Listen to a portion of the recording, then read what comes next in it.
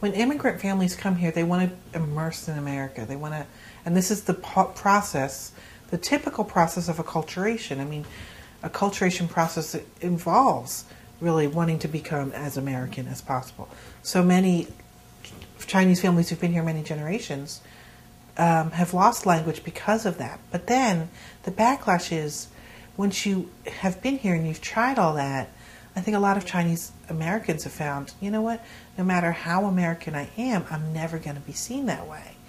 And in order to feel ethnic pride and heritage, in order to not feel self loathing for the fact that I'll never look white enough or be Western enough or whatever it will be, then maybe I need to start getting more pride about who where I came from. So that immersion into or re-immersion back into um, their, their ethnic heritage, I think, is is a result of the backlash of not of being forever foreign.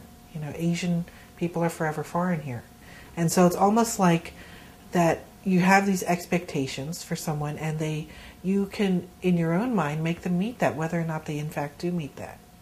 So I think that's what happens for a lot of Chinese adoptees or transracial adoptees. What happens is they go into situations and people have perceptions of who and what they're going to be based on just how they look.